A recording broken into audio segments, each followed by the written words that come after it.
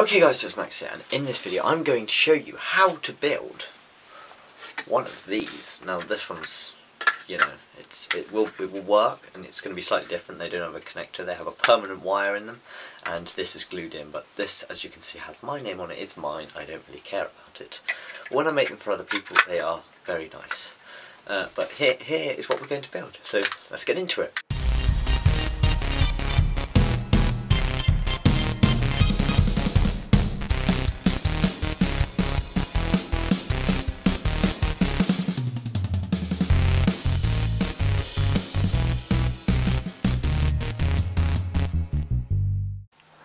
Okay guys, so this is what I did. So I measured, I don't know originally how I came up with the measurement, but it's 72 in height this way.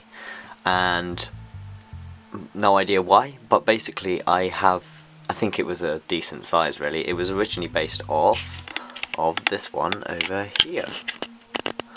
Which is a different kind of mount, it hangs on the wall, which is the only one of them I've ever done. But, um, so this is bigger because you get the base that goes in there so it has to slot in so it's bigger. And this has a 10 mil gap all the way around. And this one is 26 but all the font sizes are all the same. The only thing that changes is the font um, type and the length of the thing. So once you've done that you then print it off on some card so it's quite strong. And then voila so this is on some card and as you can see I've basically just cut out the black. So I forgot to film doing this yesterday but all I used is basically, you know, you put it on a normal cutting mat, uh, use a Stanley knife or a crafting knife and just, just, if you have more straight edges like this one again, then you can use a ruler to get them exactly straight. Okay, so before I forget to like film all this, so all these aren't stuck down yet, by the way. So I've just got these that I showed you how to cut out and how to design last time. Now this is just some 12mm Perspex um, acrylic stuff, basically just plastic, clear plastic. You can get off eBay. I'll link where I get it down in the description where you can check that out. Um, but yeah, once once you've got that, you want to uh, basically use some thin double-sided tape, you know, just the normal cheap stuff off eBay. And then it's easy to tear because it's got a layer of paper on top. You just roughly eye it out, you go, yep, that looks about right. You just tear it, and then you put it on there, and try and get it so it's touching, but definitely don't get it so it's overlapping like you want to make sure it's either touching or back a bit but you don't want it overlapping because then it will get in the way when you um, start etching it in.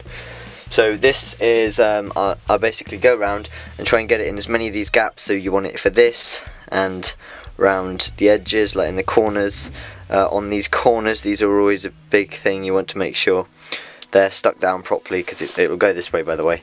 You want to make sure there's tape underneath there and that will stick down properly um, and then you've got to stick in all of these bits that go in in there so you get the, the border which you put double-sided tape on and sometimes they get fiddly. Once I've done all the double-sided tape uh, and I've got it stuck down I'll show you what to do next.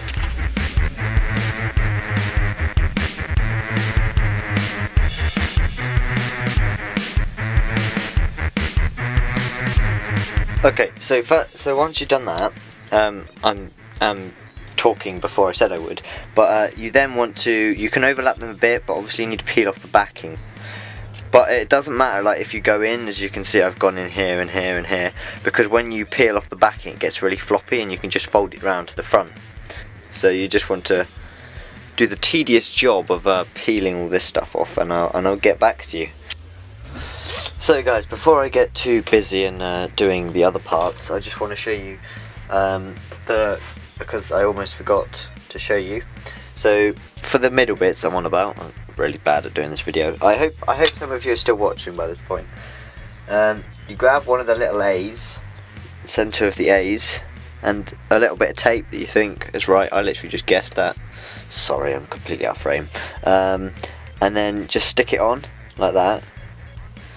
So it covers it, so it's within the uh, within the tape and then find the edge which always takes forever there we go so then it becomes really clear uh, when it's clear and peeled off it becomes really floppy. So then you can just fold it round the sides like that and like that, making sure that you still know which side is the base side, and then find which way up it goes, and then put it in. This isn't an A actually, this is a D, but never mind. And then try and line it up as best you can. I mean, you're never going to get them perfect, but you know, you can see there, I did a pretty good job. And you want to make sure it's kind of got it around the edge. So as you can see I've done it with this A here as well. So yeah, I'm just going to carry on doing this last one and then I'll show you what to do next. So here they are and uh, once you've uh, done this you obviously want to make sure you peeled off the plastic stuff already so you're not sticking it on there because when you etch it will just be annoying. Uh, so that and then this is because it's got a lot free I'm keeping the plastic on this one. This one I just peeled straight off. Sorry you can't even see that. Um, but I did want to put this this way because then I could fit one along the top, a long one, and then one down the side if I needed it, because it would be the right height, because all of these are the same height, well apart from that one.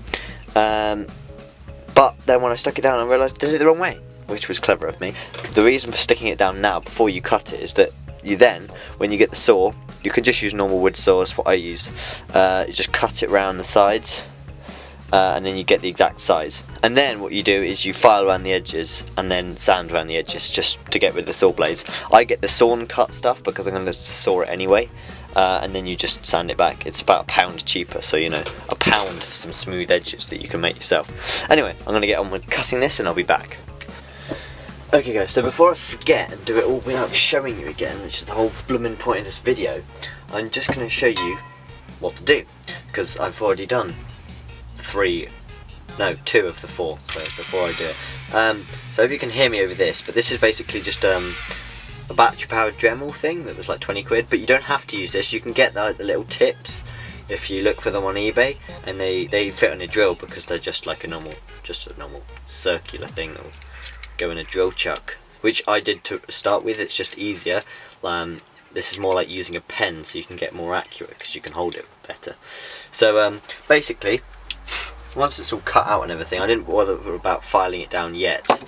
Um, but uh, yeah, you just do this with it and you go around the edges first and try and go in one direction. Don't like go squiggle it'll look nicer if it's all in one direction and all kind of the same depth. You'll get used to it. I'd, I'd probably recommend doing a test first, like um, on a, a bit that you maybe cut off or a little silly offcut that doesn't really matter and maybe try getting a nice stroke, getting a consistent depth because when it's this wide you want like a consistent depth so you got to go back and forth but yeah I'll be time lapsing this one from now on uh, so yeah hope you enjoy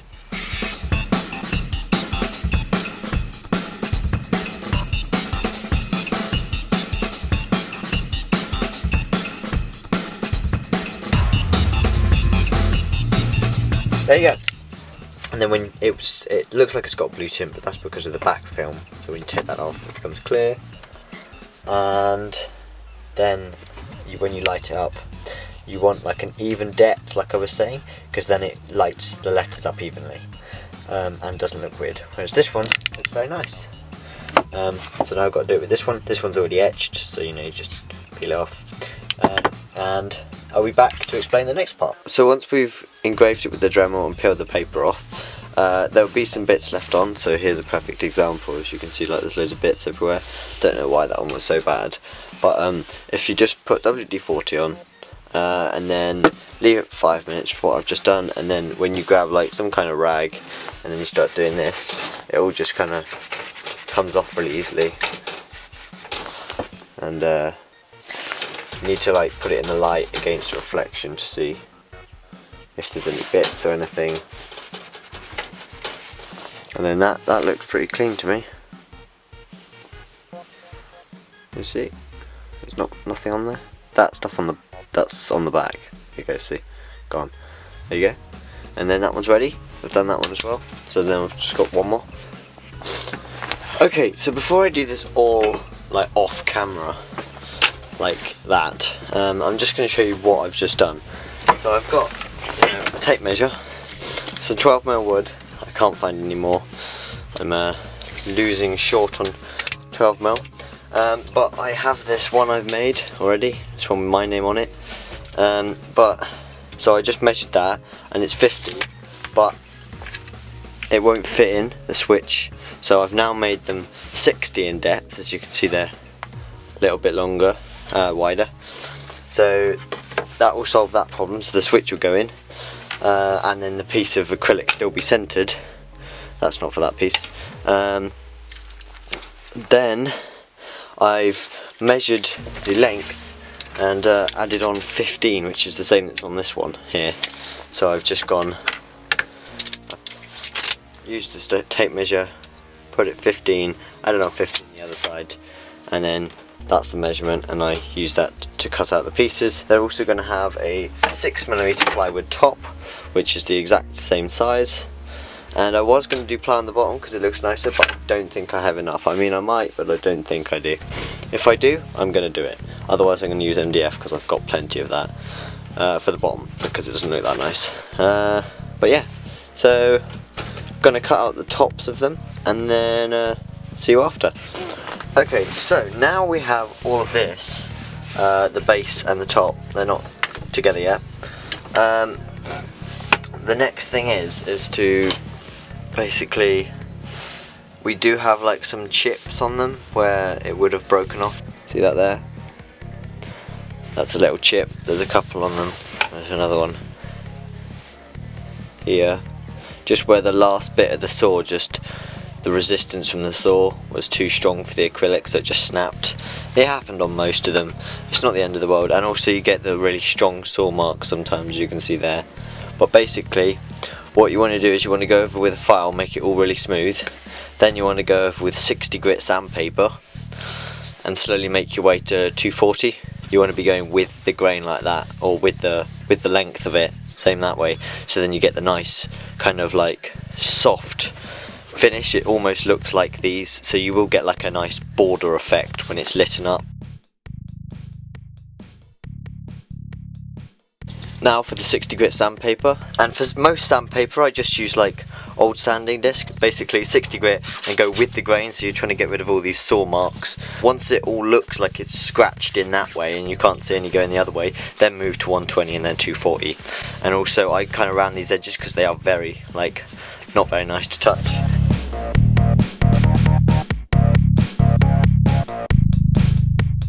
Because I completely forgot about filming, I forgot to film it, but basically what I did is chose what looked nicer at the back or the front, decided this one looked nicer for me, for this one specifically, and then um, drew a shape around so that the sign will fit and have a bit of play so we can have some you know, so, you don't have to like completely measure it and get it accurate and then it's slightly out. Just make sure it's got a bit of space around the side.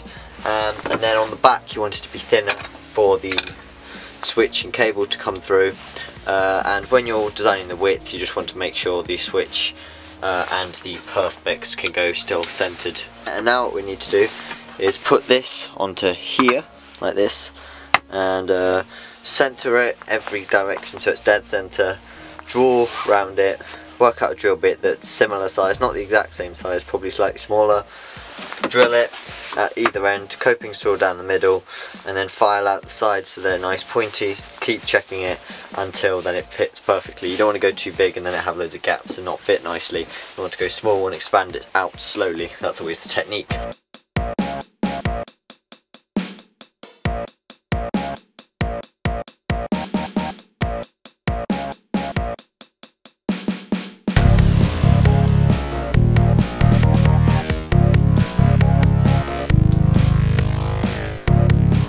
Okay guys, so as you can see it's now coming together. So it all fits, that's that's pressed down and everything, that's how it will go. Um, so basically, as you saw, coping saw down and then to straighten it up and make it a little bit wider because I made sure I didn't cut outside the line. Um, yep, just using a file. And then to get in the corners, because obviously I, I didn't go all the way to the end of these edges either, um, I got down in the corners using that because obviously that's quite pointy. You can get right in the corner and make a like a V shape in each corner. And then to get it out, I use this one because I can go all the way across and I have a lot of room. I can go diagonally. And then eventually it expands and expands, and then you can slot it in you don't want it to be loose, so this is why it's nice and tight. And then it goes in. And there you go. What we need to do is we need to glue these together, and then while you're waiting for that to glue, uh, I'm gonna cut some 6mm MDF and then that will give it its like enclosure just like the lamps I make if you've seen them. Uh, you can see how I made those up in here and in the description there's a link to buy them if you really want to. And uh, put in the comments down below if you'd like to buy one of these because I'm not sure. Uh, well obviously there's a few people who have bought them that's why I'm making them but if you'd like to buy one drop in the comments below and I'll be sure to make you one. Um, for the gluing it's just you know normal wood glue. Uh, and just a small thin bead around the edge and it comes out but it's flipping freezing everything froze last night so all the glue and liquids are really hard. I'm gonna have to clamp two of these on top of each other because I've only got two clamps. So this is my setup at the moment. I've got obviously two there two there. Bit of wood to try and kind of separate the pressure or spread the pressure out. This one's a bit smaller I couldn't find another bit of wood. Um, but yeah so we'll just leave them for a couple of hours and come back and then cut the bases. Okay guys, so what I've done is I've just grabbed one of them, put them on the bit of 6mm MDF, drew around it, and yeah. And now I'm going to cut them out, and as you can see that's what the front will look like, with the 6mm ply, 12mm, and then the 6mm MDF.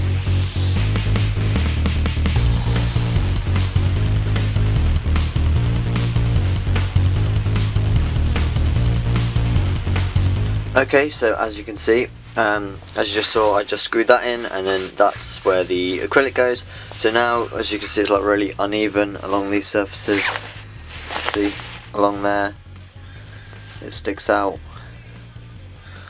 And yeah, so we're just going to give all of this a sand and the bottom as well to smooth off the countersinks because it's MDF. And then once we've done that, like I said, we can do the electrics.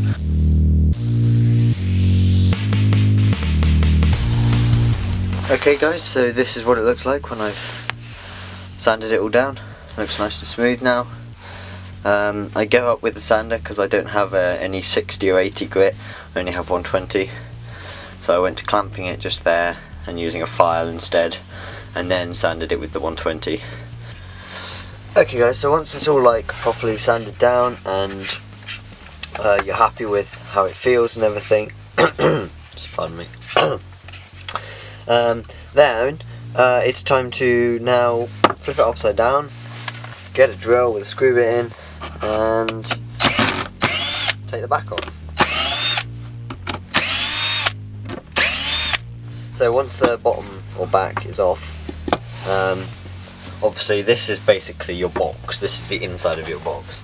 So what we're going to need is obviously an LED strip to light it up, glue that down to there, you will also need a switch for turning it on and off and obviously some cable. And as these are 5 volt LEDs I've got some 5 volt uh, connector which is just USB basically. So you got switch over there cable coming in there and then uh, the cable will come through. The positive will go into the switch out the switch and into the LEDs and uh, the negative will just go straight to the LEDs um, what I'm doing though is I'm going to strip that so it meets the switch and then I'm going to solder a new negative on to reach the rest of the way and then a positive because these cables aren't that long and I don't want to make longer cables because they are long enough if I don't have to put half the cable inside the actual box. But to do that I've just got a bit more 2 core cable. You can use 4 core cable, I think, yeah that one's 4 core, but I'll only be using the red and the black from that. Um, it's it's no worries, it's just two wasted cables. It just was a data cable and now it's not.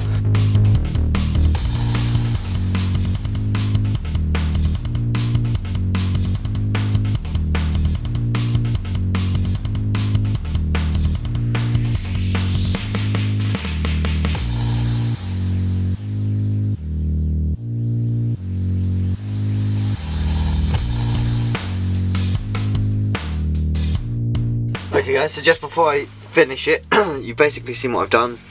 Um, and as you can see these are purple, but they're, they're normal red, green, blue. In fact, they're not completely normal, because if I make it darker for you lot, you can see like purples coming from one LED each. Um, and basically that's these really cool LEDs, they're like really good LEDs because they have each red, green and blue all in the same like module kind of thing. And how I got it purple is obviously by combining the blue and the green, by basically so you have the positive and then the negatives of the different colours. Uh, so I just combined the red and the blue um, negatives over. Uh, and then it was as simple as sticking, well, marking it the size of this, the where it came through, sticking that down, put a bit of super glue just to make sure that it won't come off. What we need to do is varnish them. So what I use is this ultra durable varnish and it's just oil based and it goes in a thick, it's clear gloss, goes in a thick coat. Uh, I use it for the lamps, you can use whatever though. So what we're going to do is we're going to varnish this and then I have a lamp rack which is basically for drying my lamps, that's what it's originally designed for but it does work for drying these too because it's just got like little copper pins pointing out and you can just hook one of the copper pins in there and then it will dry like that because uh, therefore you can dry it all at the same time and varnish it all at the same time which speeds up the process especially when you're doing four. Okay guys so now it's all finished I've taken the acrylic bits out and uh, now it's time for the varnishing stage and uh, I've just got this 30mm uh, brush. So time lapse of me just basically varnishing this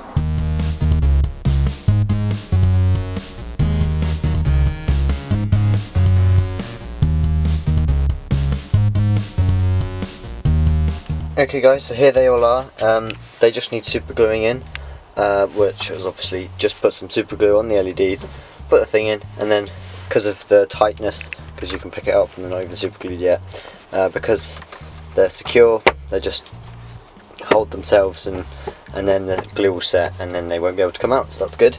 Uh, but I, in the end, just so you know, I did give them a second coat because the first coat didn't even look like they'd been varnished, especially on the MDF. Like I said, it completely absorbs it. Uh, so putting loads on doesn't really help, to be honest. Um, I thought it did, but no, clearly just do two. This one uh, is being redone because uh, it went on the floor and collected loads of sawdust. Uh, and yeah, there they all are.